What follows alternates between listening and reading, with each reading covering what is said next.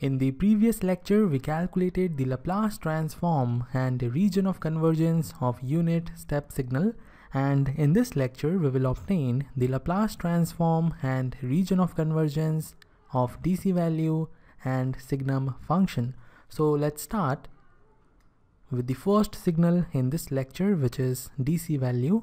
And let's say the time domain signal ft is equal to DC value a naught and we are required to calculate its corresponding Laplace transform fs. Now there are two ways to find out the Laplace transform of DC value. The first method is simply using the formula of Laplace transform and the second method is using the Laplace transform of unit step signal. I will give you both the methods.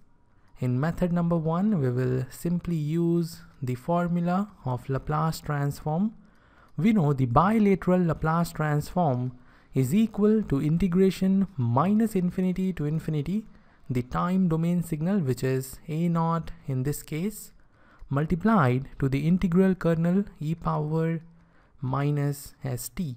a naught is a constant with respect to time t so we will take it out of integration and the integration of e power minus st is equal to e power minus st divided by minus s. The lower limit of integration is minus infinity and the upper limit is infinity. Minus s is not having any term of time t, so we will take it out and we have minus a naught over s and we have e power minus s infinity minus e power minus s minus infinity or we can write e power plus s infinity plus s infinity. We know s is equal to sigma plus j omega. It is a complex variable and it is equal to sigma plus j omega. In this way we have the bilateral Laplace transform equal to minus a naught over s inside the bracket e power minus sigma plus j omega multiplied to infinity minus e power plus sigma plus j omega multiplied to infinity.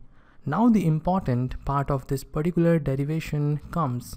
You have to focus on what I am explaining regarding the different exponentials we are going to get. I can write e power minus sigma plus j omega multiplied to infinity as e power minus sigma multiplied to infinity multiplied to another exponential e power minus j omega multiplied to infinity. Omega is a finite value, it is the angular frequency and when it is multiplied to infinity we will get infinity. So we will write omega infinity as infinity Similarly, we will break this exponential as well. We will have e power sigma infinity multiplied to e power j infinity. And we know the Euler's formula. We know e power j theta is equal to cos theta plus j sine theta. So from here we will get, we will get cos infinity minus j sine infinity. And from here we will get cos infinity plus j sine infinity. And we know sine and cosine have the values between minus 1 and 1 and the value depends on the angle we are having. But in this case we are having infinity as angle. And infinity is not defined. So we don't know what will be the value of cos infinity and sine infinity at infinity but we are sure that value is between minus 1 and 1. This means the value is going to be finite.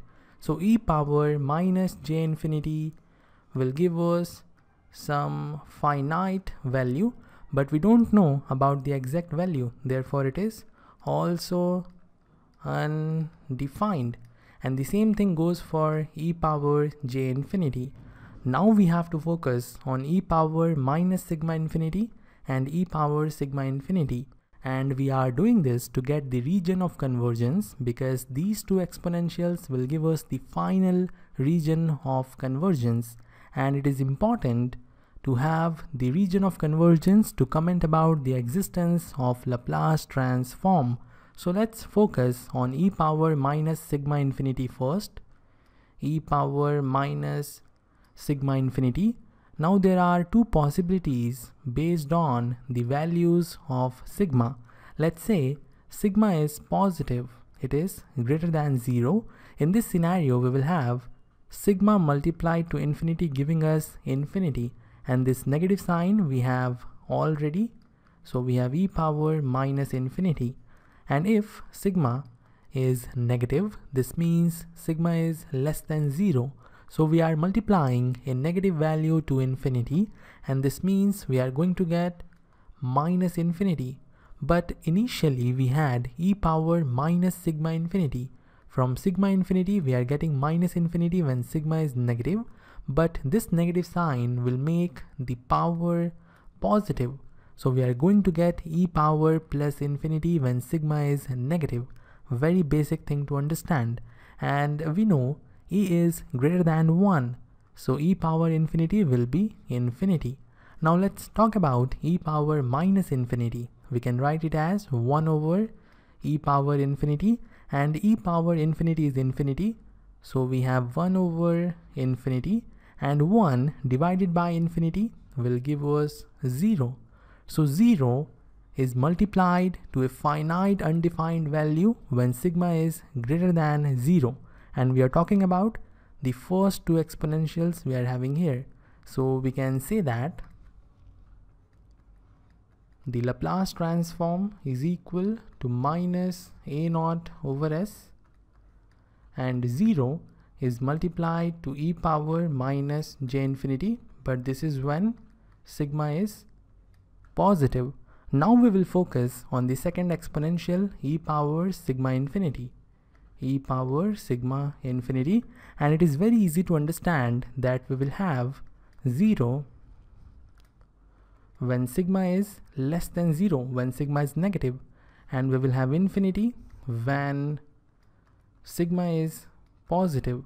So we will have we will have minus 0 multiplied to e power j infinity and this is when sigma is negative so you can see that we are having two conditions on sigma the two conditions are giving us the finite Laplace transform because we don't want the Laplace transform to be infinity.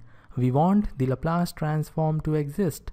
And this is the whole point of having the region of convergence because in a region of convergence, the Laplace transform is finite and outside region of convergence, the Laplace transform is infinity.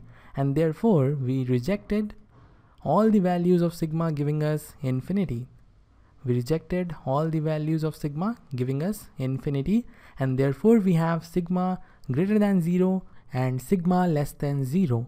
Now to comment about the existence of Laplace transform fs we need to get the final or common region of convergence and we can have it after plotting the region we will get from sigma greater than 0 and sigma less than 0 and when you plot them in S-plane you will find there is no common region of convergence because no portions of the two regions will intersect each other.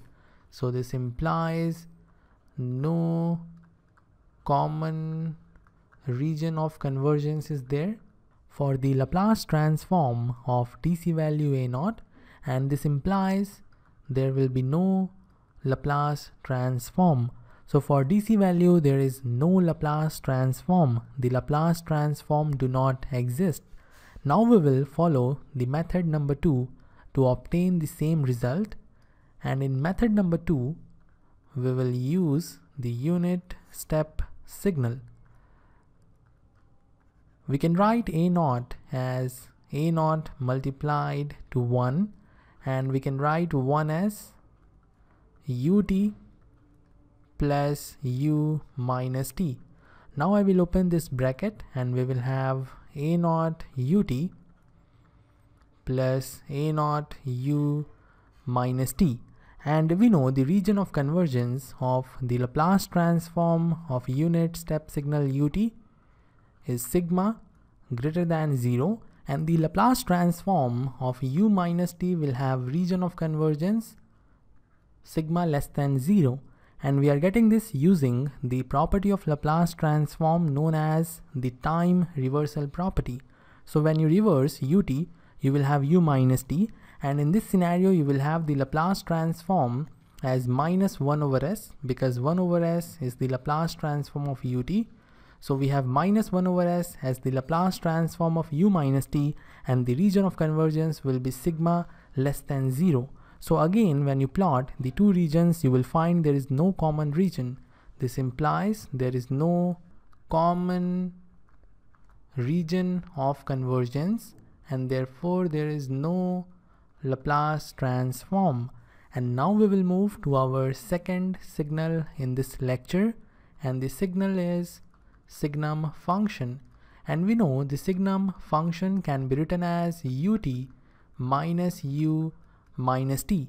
And we know the region of convergence for the Laplace transform of ut is sigma greater than 0 and for u minus t sigma is less than 0 so again there is no common there is no common region of convergence no common region of convergence. And this implies there is no Laplace transform so for DC values and signum function, there is no existence of Laplace transform. And you can remember one point regarding the DC value. DC values are double sided power signals. They are double sided power signals and all double sided power signals do not have the existing Laplace transform. So this is all for this lecture. I will end it here. See you in the next one.